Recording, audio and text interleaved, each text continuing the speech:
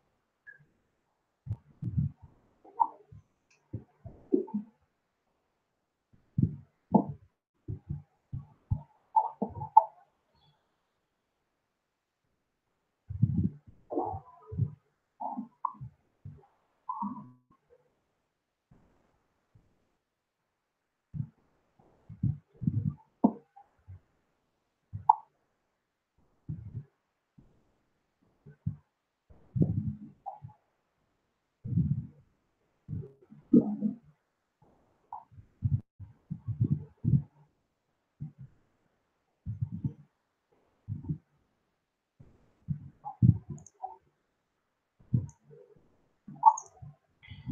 evening, everybody, and uh, welcome to the AVN Hip Masterclass by Dr. Ramesh Sen.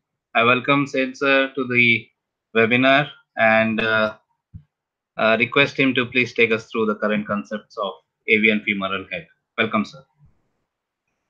Good afternoon. I'll be talking about what we think in the day of today about avascular necrosis of femur head. There are some disclosures that the part of work which I'm presenting here has been done with the help of AAD of Hong Kong and AIOD France.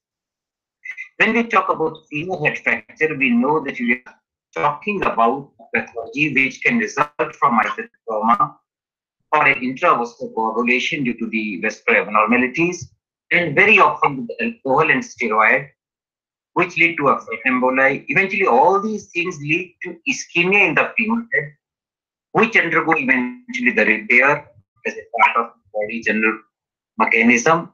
But during this process, it loses its structural integrity and it starts getting a collapse.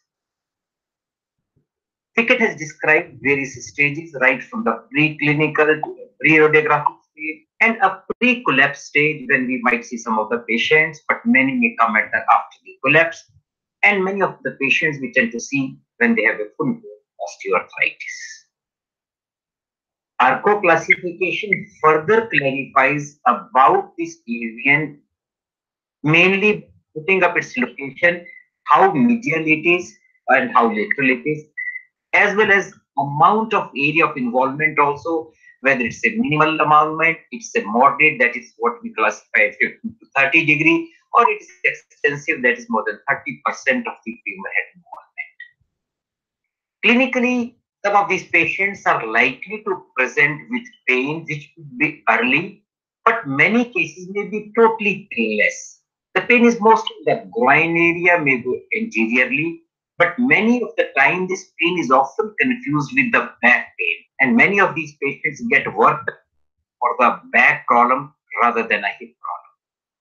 Physically, we might find the restriction in the range of movement, and that is what gives a classical sectoral sign when we have got a good range in interrotation and extension, but we have got a limitation in flexed position. Step diagnosis is helpful, but the sensitivity is too low to be taken as a routine diagnostics in the day of today.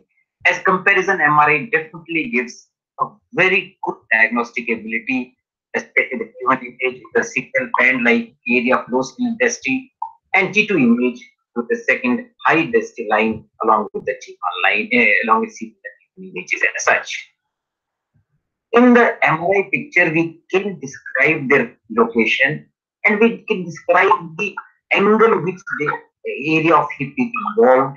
And accordingly, what we label at A plus B, the area of involvement in AP view and in coronal view, we can define it out that how much the area is, whether it's more than 240 degree, then definitely it is a high risk of collapse. If it's a moderate risk, and accordingly the classification can be done.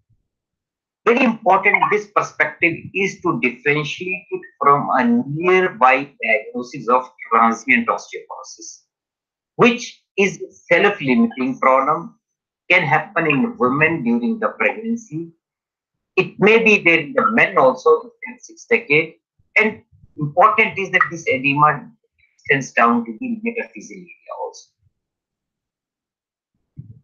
if we do bone perfusion, we are likely to get much better diagnosis of the avascularity by MRI contrast type. And these help us to make a better diagnosis when we are talking about the further progress. Lately, we've been able to look at the other perspective of use of F18 fluoride positron emission tomography also, which is also found to be reasonably sensitive, almost equal to MRI and equal specificity to MRI in the patients where you cannot get an MRI done, this 18 fluoride uh, PET CT is one of the options. And the agreement between the MRI picture, it is around 96%. A very important thing to know is that the diagnosis does not have any clinical criteria. Either it is X-rays where we can see a joint space narrowing, we can see a collapse of the femur head, we can see stenosis in the femur head, or it is the scans where we see cold and hot, or it is the classical MRI picture of bands, or it is histology. And the definite diagnosis is any two positive criteria out of the five listed. We have done an epidemiological profile of these cases in India and what we have seen, is that we have a bilateral cases in 54% of the cases. And we are talking bilateral if we to rule out traumatic cases and non-traumatic, it is about 60%. We have found steroid to be the most common cause, followed by idiopathic, then near close is alcohol, and then comes trauma as a cause of AVN in our population. Very important perspective in AVN presentation is that many cases present at different level of these stages. We found in our 382 cases of AVN, 48% presented at stage 2, 33 presented at stage 3, and 16 presented at stage 4 of the Charcot distribution. And that's very important that we do not get all these cases at an early stage. Question comes on this, can we define a steroid dose, which is important. What has been seen in the literature is that if we are giving steroids more than 16.6 milligram a day, there is 3.4 fold higher chances of getting an AVN than if the dose is less than 12. Likewise, kidney transplant patients who get more than 20 milligram per day prednisolone have got a five time higher risk of developing AVN in their patients. There has been a very good paper from India regarding the link of homocysteine and concomitantly reduced level of vitamin B6 and B12 in plasma in these patients who are getting ahead. And this is published in the Nature as a innovative there. Now, when we look at the prognostic indicator, what is defined here is the amount of involvement, and that itself is one of the main criteria when we look at the outcome whether it's a minimal involvement, whether it's more involvement, and likewise, whether it's a medial area or a central area. Now, when we look at the amount of area involved, we understand that MRI does give us an area involvement, but volumetric assessment, if it is done, that is supposed to be a much better method of assessment of the amount of involvement. Though it is not a very practical method, most of the places, it's more a study method what happen naturally in this patient. If the femur head involvement is significant, the lesion is large, usually they do not reduce. Smaller lesion which do not affect much of the weight bearing area, they may not see or they may have a slow discontinued kind of a change, but larger lesions never reduce has been observed. I want to give this presentation a very old case. In 1997, we operated it for a neglected dislocation hip. We could see on the MRI the changes in the femur head of vascularity. We monitored this patient in 98 also the changes were there. The X-rays also showed changes. The patient was asymptomatic. After three years, patient was still asymptomatic. And even seven, eight years later also he was now becoming symptomatic. Then he started feeling problem while the X-ray pictures was reasonably bad. And then after technically eight years of getting the trauma and getting CT, he had reasonable amount of a symptoms which demanded a replacement at stage. A point to note is that many of these cases may remain asymptomatic for a very long of even being diagnosed in the radiology, the MRI picture, they may still symptomatic. If we are careful, especially when we have got a case with a neglected dislocation and we are doing open revision, we have experimented with that if we aspirate from the femur head and if we look at the amount of aspirate what we obtain over there, if that amount is less than 1 cc with the 18 gauge needle, usually this is likely to be a vector. And this is what we have published subsequently, that in this period, in those cases, because we tend to deal with a lot of neglected cases, there is always a query that whether this is viable or not. One option is we can get an MRI scan and then we can find it out. Another option on the table is that we can aspirate it out and look for it. And usually these cases will manifest in the radiology technically around third month of the. Now we go to the current scenario, what it is. It has been conventionally expected that the restricted weight bearing will solve the problem. But this is one of the paper which says there is no difference in the pathological changes whether the patient bears weight or doesn't bear any weight. So weight bearing does not bring any change in the outcome. And that is what all meta-analysis have also supporting that weight bearing restriction is not a management basis. There has been a talk about statin therapy and it has been given that if they are given for along with these steroids, they may be a kind of a protection from the avascular necrosis. That is what the literature says about it. People have looked at hyperbaric oxygenation also, which can bring relief to anemia in these. People have tried pulse electromagnetic field stimulation also in many of these studies, and they found they reduce the uh, involvement and they decrease the serum lipid levels. It could be helpful in this situation. Extracorporeal shockwave have also been tried whether it is given with alendronate or without alendronate, it has been seen that it itself is effective, but it is very important in the relatively smaller cells. Then anticoagulants have also been tried. This is one of the review which says they could be useful if the vascular coagulopathies are in this kind of a situation, and they have not seen any side effect in this kind of situation.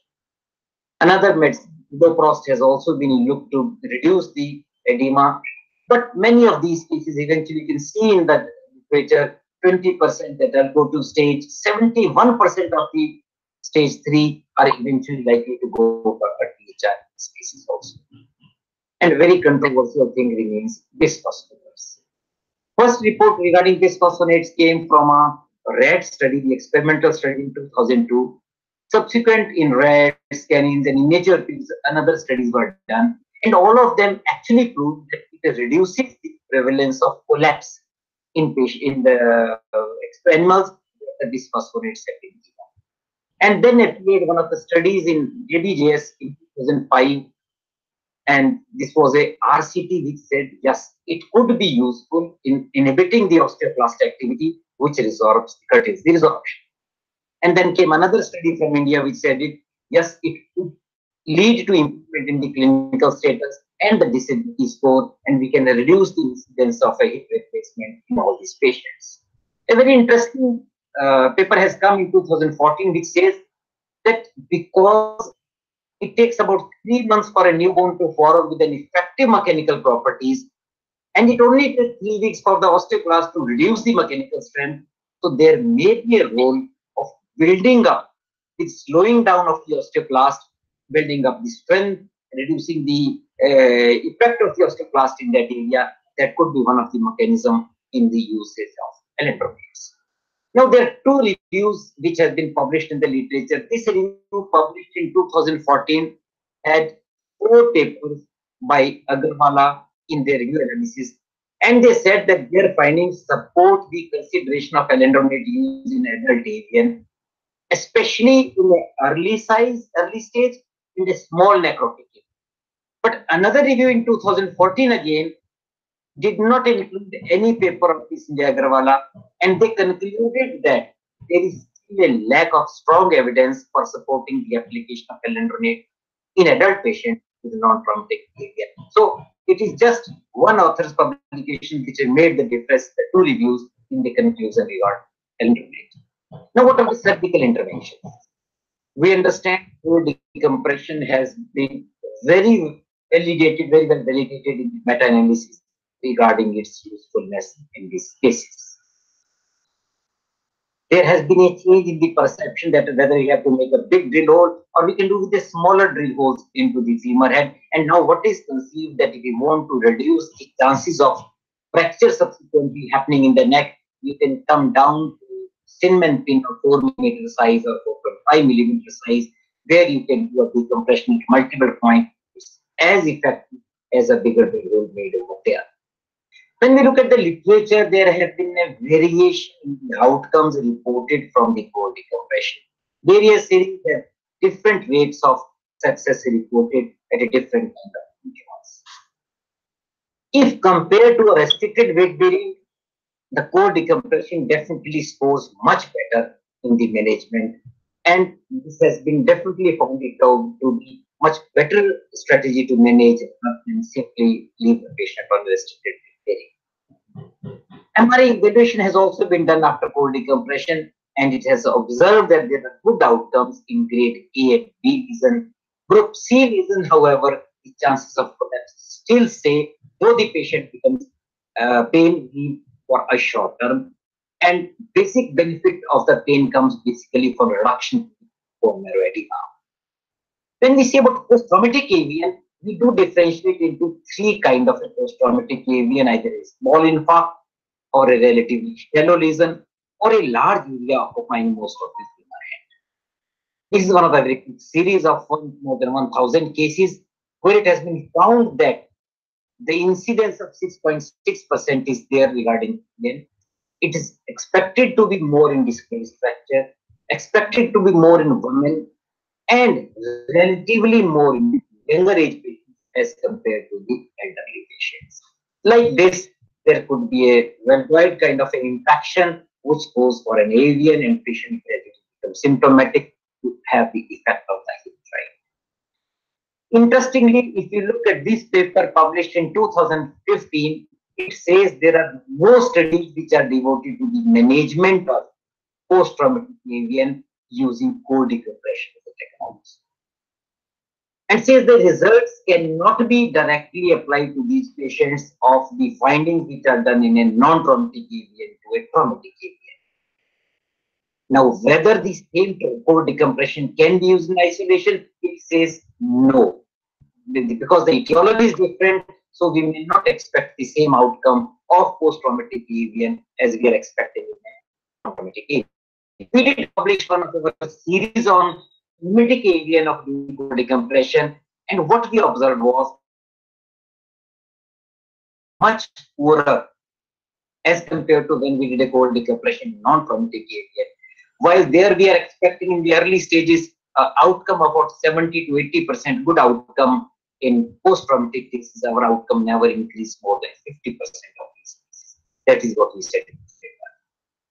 We did public review also subsequently where we said it that whatever the core decompression is still uh, one of the safe management in these cases, but there is always an opportunity to increase the outcome of core decompression as such.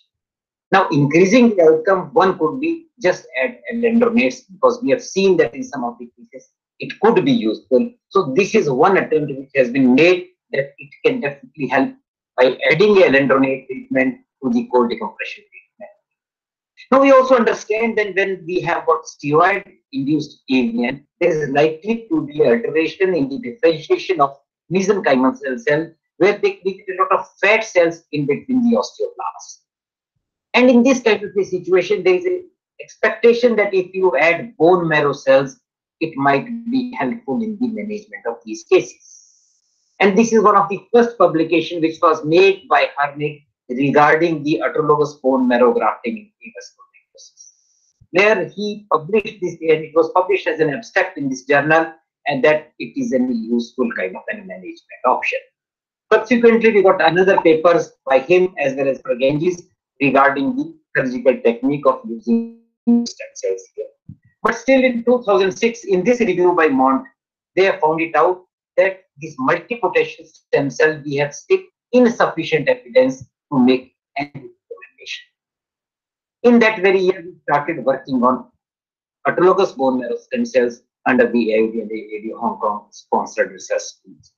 We had a good number of cases of steroids. We had over. We made it an RCT randomized control trial in these cases, divided the randomly, and then the technique was using a Ficoll separation method after centrifuging, washing them, analyzing the strength, analyzing their count.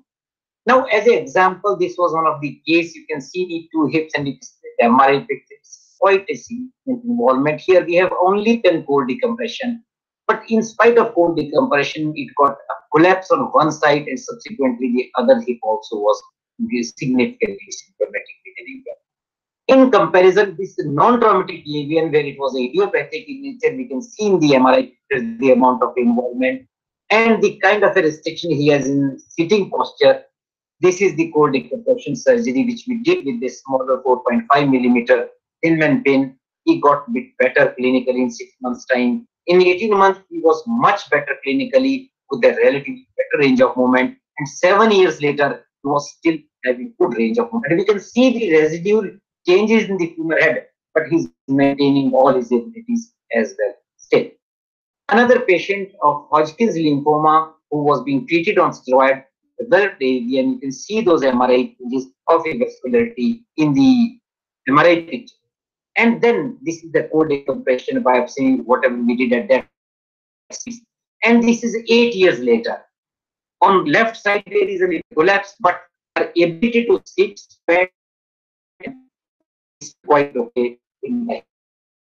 Hip is perfectly normal in her case in the day of today also. Another patient where we had the changes, you can see in the MRI pictures on the either side of it, that was in 2009 when we induced the installation of stem cell and he's nine years later in 2017 his hips are as normal as anything with a very good range of movement in the both the hip in these cases. Another patient of SLE having a bilateral AVN, one hip was reasonably bad. In that side, we did a THR. The another side, we did have installation of these marrow cells in the area after core decompression. And nine years later, you can see she's maintaining a hip as well.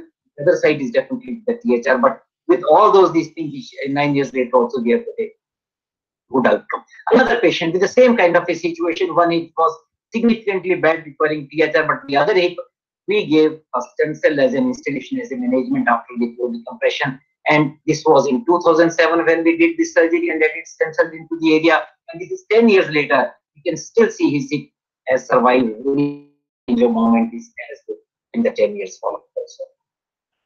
Then we have got another patient where we got a failure here. Here we did the same thing, but in this patient, there was a restriction in the range of movement and definitely there is a collapse also. So we did have one of those cases getting into the problem. Now here we analyzed those these things in 2011 and then we published this paper in 2012 as a randomized control study paper in the Journal of Arthroplasty. And what we concluded, and this, this was similar to other studies in the literature also, that there is an improvement after adding these stem cells into this area. And there are in the literature to say yes, they could be useful in this kind of situations. Then subsequently, many other papers appeared regarding the usage of these stem cells into this area. We did publish in 2013 another paper that yes, this was a kind of a review that there is definitely likely to be a role of these progenitor cells into the area. Then this was a review article published in 2014 where there were five papers from the literature regarding the clinical side, including ours, and which all concluded that definitely stem cell therapy has a role in the management. Another systemic review also appeared in the same year in 2014. Again, they included six, seven papers in this thing, including ours, and they also concluded the same way, likely to be a role of stem cells in the management. Another publication appeared, a seven case control style, including that of ours. And again, they also showed that giving uh, stem cell management would be a good option in managing the overhead. Another review appeared in 2017. The 11 studies had been accumulated, which were good according to their standard, with 507 patients, including ours, and definitely there also the conclusion had not changed. Another article subsequently as a uh, literature-based systemic review appeared in saying the same that yes, it is. So there is a enough number of review articles and meta-analyses which have been done in those periods, and this is all subsequently concluded by Philippe Hernigou, the master who started the process, that it is a 30-year review progress where he said it, yes, the availability of stem cells and with the osteogenic property through bone marrow transplantation, when injected, they do secrete angiogenic cytokines, resulting in increased genesis. And they can lead to the formation of new blood cells by the presence of progenitor cells and hemangioblastic infection. Now the question was, can we still make it better? So people started adding BMPs into these stem cells, elevating the number of new bones and accelerated it here also in this kind of situation. Then there came a role of autologous cultured cells also. And this was a case report which was published long time back. And then subsequently in 2010, we also uh, tried using this cultured cell and we found a significant difference and a very early change in the femur head also as far as the uh, quality of the bone was concerned after these culture cells. Then people tried different method, different intra-arterial delivery of constructed marrow cells into the femur also. 2015 guidelines, if you look at it in the version of orthopedics, says very interesting thing. Whatever the stage of disease, whether stage 1, whether 2A, whether 2B, or whether 2C, all these stages, when you think of sulfate, they have included bisphosphonates in all stages. They have included these bone cells, stem cells in all these stages. Now, in stage 2 and stage 2B, they did combine osteotomy also as one of the options for. And they had a non-vascularized bone grafting also as one of the options for. But incidentally, interestingly, this bisphosphonates and these stem cells have been added in all these stages. Till go to the stage four when they say you can go in for a MAC and cost. There we further went into a situation, do we really need in stage one when there is just an edema, do we really need stem cells? We again analyzed, so we have not published this part of the study. We took 59 patients, we again divided into two groups.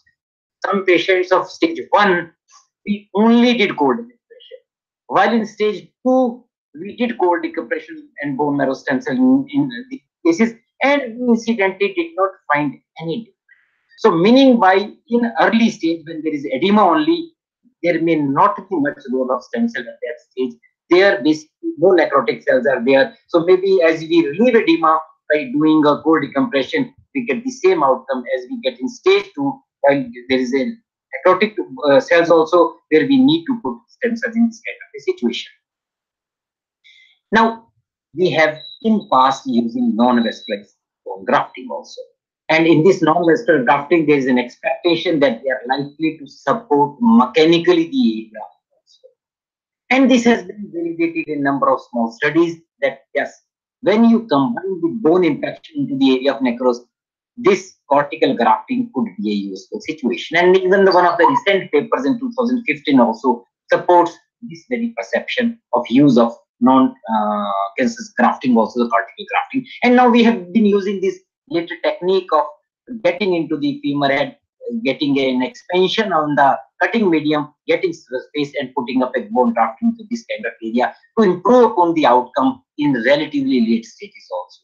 We have done few cases of light bulb procedures also, and it's expected they might give a second result. And then we have done vascularized fibula also, which is supposed to be the gold standard in the management of necrosis. This is one such case of a vascularized fibula. The situation was reasonably bad. We went for the microvascular grafting along with the fibula over there. And this is 11 years follow-up. He is able to maintain as well after a long period also.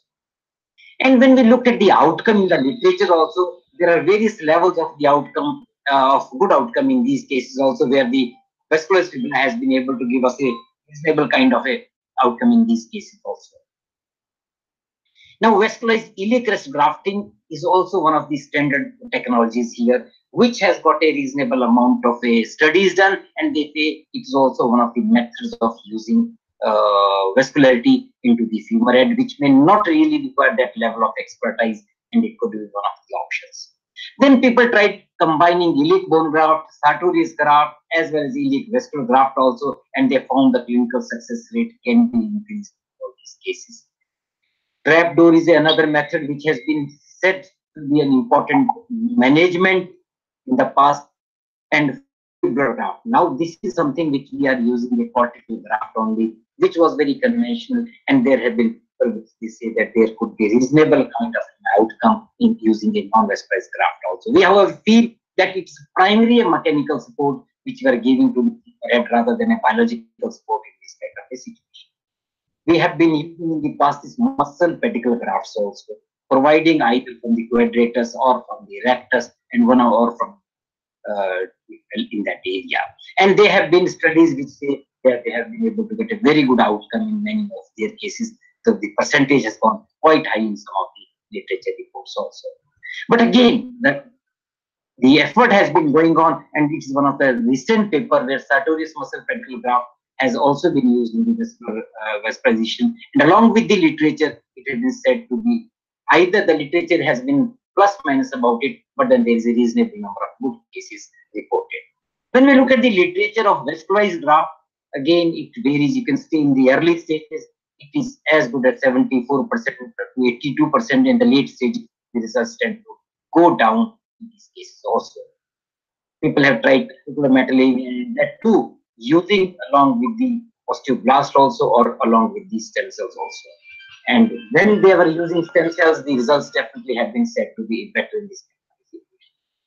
Now are the osteotomies. Now, problem with the osteotomies is for a case for osteotomy, the problem is that significant area of superior or inferior is often involved. And then the basic expectation out of osteotomy is that we may be able to bring a normal part of the femur had to bear the weight area. So that usually does not happen in many of these cases with a significant amount of involvement. Only if the area of involvement is small, there this osteotomy is likely And then regarding this Sugioka rotation osteotomy, obviously, as most of us believe, it is definitely not a very easy procedure, and not very many people are likely to be able to get the same results as when obtained by the master surgeons themselves. Then people did try using a vascularized graft along with the osteotomies also, again with an effort that we can increase the rate. But overall, when we look at the results, they have always been in between and quite inconsistent in most of these studies, whether we are talking about rotational osteotomies, we are talking about angulation osteotomies. Interestingly, just to keep the sphericity of the femur head, some new method like cementation of the femur head, it may be able to give us good years including they have tried these methods also, and they have found it out. It could be one of the methods also. And lately, we have also seen the papers which they say they are using alendronate installation into the femur head, basically with the perception that it's likely to decrease the chance of its collapse subsequently in this kind of a situation.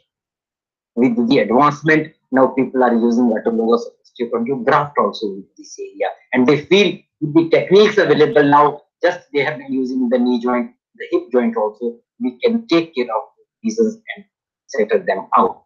And now even allograft, osteochondral graft have also been tried and more and more papers are coming up in this kind of a situation.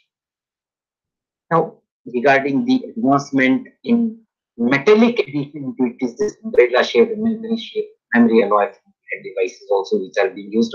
We understand cases are now being done as an experiment we have to wait for their potential results to come. And like like hemi we have a hemi cap now, which can be used in the area after taking out the necrotic area, filling it with it, and but we might have to see for many years the results which come out of the studies uh, of using. Now, regarding hip replacement, initially there was a perception that hip replacement in AVN is not because it is likely to be in a problem to the underlying ischemia bone. But lately there is a difference in the perception of the late literature. They say there could be a high rate of a medical complication in these cases. Bleeding transmission chances could be more in these cases, but still the results not as bad. The only care which we have to take it that they are relatively younger patients, and being young patients, we have to use the implants which can save part of the bone on either side, the stem side also, as well as toward the cup side also. And likewise, the bearing surfaces should be as consistent as like ceramic to ceramic or ceramic to helicross poly, which gives a reasonable number of years before they get one revision because they are expected to go for a second time to come. So there has been a lot of um, choices now which can be used according to the age of the patient depending on the age of the Now this is one of the those cases of so-called ASR problem. This was the case which came to us in 2007. One hip was already bad. We at that stage did not do anything, but the other hip, which was uh, salvageable, we did that installation of stem cell in that side. But in nine, when the other side, we went for the THR at that stage, ASR was available. So we did this thing. Now in 2018, she came with a significant involvement around the ASR cup, while on the other side, the femur head where we had done a uh, stem cell installation is still as best as it was there in 2007 we did a stem cell installation. So there definitely is a role for stem cell while on the other side it has to be properly taken care of what implant is to import. Now this is another paper which also said there is no significant difference regarding the outcome of a THR in these pieces of AVN also. And this is another paper in 2016 says there is no difference between AVN osteoarthritis as regarding THR. So the initial perception that THR and AVN is not as good now is getting dissipated due to the later studies which are coming and find no difference in also. So they have found it out that if you do other procedures before coming to a THR, there could be an issue in the outcome and that could affect the eventual outcome of the THR in this type of a group. So in the day to of today, when we look at all around in this subject as such, we see that for the diagnosis, we have to go for the clinical if it is there or for the radiological perspective where MRI is a very, very important tool in the management and maybe bone scan can help when MRI is contraindicated and that you have to right PET is one of the options. As for the management is concerned, our protocol still remains that if we are stage one, there is edema primarily, we only do core decompression. However, if you look at the last line down there, we add bisphosphonates in all three stages, first, second, and third. But in stage one, we are consistently doing core decompression.